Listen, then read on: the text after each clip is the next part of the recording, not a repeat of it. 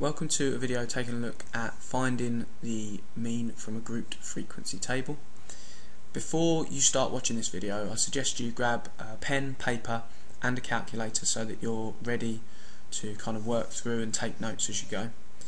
And before we start looking at a grouped frequency table it's really important that you can answer finding the mean from a just a standard frequency table. So here's the question. Bianca asked 32 women about the number of children they had. The table shows information about her results. What I'd like you to do is just pause the video and attempt this question. If you can't answer this question, go back and take a look at the video that I've created previously on this topic. So pause the video, attempt this question, make sure that you can answer it, and then press play now to see the answers. So, here are the answers. Bianca asked 32 women about the number of children they had. The table shows information about her results. So all that we've done here is we've taken our values um, that could have been our answers. So 9 people said 0, 6 people said 1, and we've just multiplied our values here by the frequency. So 0 times 9, 1 times 6, 2 times 7, 3 times 8, 4 times 2, and so on. Then we have added these together and divided by the total frequency. So 52 divided by 32 and that's given us an answer of 1.65. If you didn't get this right or you don't understand what, what's just gone on, take a look at the previous video that I've created on this topic. So, let's take a look at where the information has been grouped into categories. Now straight away you should see that we, in order to calculate the mean we've got a problem. Our problem is that we don't have a single value here for in this case the time. So it's Sathina recorded the times in minutes taken to repair 80 cars. Information about these times is shown in the table. Now this information has been grouped together. We haven't just got say one minute, then two minutes, then three minutes and so on. What we've got here is we're told that the time is greater than zero but less than or equal to 6. So what we could have in this category is times such as 4 minutes 38 or 5 minutes 40 and so on. We've got a range of different times in there. So we can't just do what we did earlier. We haven't got a number that we can multiply the frequency by. So in order to do that, we have to basically make up our own number. So we make up our own number and what a reasonable thing to do is because we don't know exactly what the information is in here, we just have a guess. And our guess would be the midpoint because whilst we don't know what the answers are in here, we don't know what the exact numbers were, we could say that they're probably all going to be around or relatively close to the middle of this group. And so the middle of 0 to 6 is going to be 3.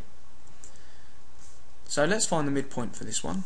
Our midpoint is going to be 9, then 15, then 21 and then halfway between 24 and 30 27 so we found these halfway points in each of our groups. Now this stage here is the only thing that is different from what you did before. So now that we've worked these out we have got a value for each of our categories and now we can just multiply our values by the frequency. So let's do that. 15 times 3 that's going to give me uh, 45. Uh, 25 multiplied by 9 it's going to give me 225. Uh, 20 times 15 20 times 15 that's going to give me a value of uh, 300 then 20 times 12, that's going to give me a value of uh, 252, I think. 12 times 21, that's going to give me a value of 252. And then lastly, 8 times 27, that's going to give me a value of 216. So, we've worked out our values just the same way as we would have done um, previously. So multiplying the frequency by our value, but this time we've just made our value up, and that's why it is what you'll see is that we're being asked for an estimate of the mean. It's not going to be the exact mean because our values could be different here. We've just made up this number to give us an idea of the numbers that could be in that category. So now we, again, just following exactly the same things as we did before. We're just going to add all of these things together.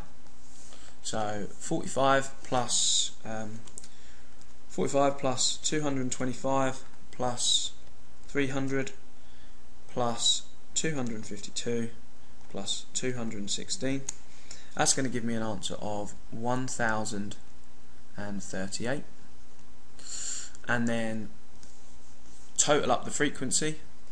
Total of the frequency. We're told up the top that's 80 so we could check here to make sure that's right we should have a total frequency of 80 and then we simply divide the totals by each other. So 1038 divided by 80 and that's going to give me an answer of um, just my calculator um, 1038 divided by 80 that's going to give us an answer of 12.975 now with these questions just a little point here unless it tells you to give your answer to a certain number of decimal places, I would always just write out the whole answer that you've given, that your calculator tells you. So taking, instead of rounding it up to 13 say, or calling it 12.98 or something like that, just write everything down that's in your calculator. That way you can't get penalised for incorrectly rounding. If you're not asked to round, you don't you don't need to, so it's silly to kind of lose accuracy marks for incorrect rounding when you don't have you haven't been asked to round. So what I'd like you to do now is to pause the video again and attempt this question here. So same idea as before, you're going to need to find a midpoint to give yourself a value for this grouped information and then just do exactly as we did for the normal frequency tables. So pause the video, attempt the question, make sure you've got a calculator, pen and paper handy, and then press play now to see the answers. So what we've done, we've calculated our midpoints, multiplied our midpoint by our frequency, totaled these up, and then divided by the total frequency. Now in this question, we're asked to give our answer to one decimal place. So what I would always suggest doing is first of all writing out your answer to your calculation.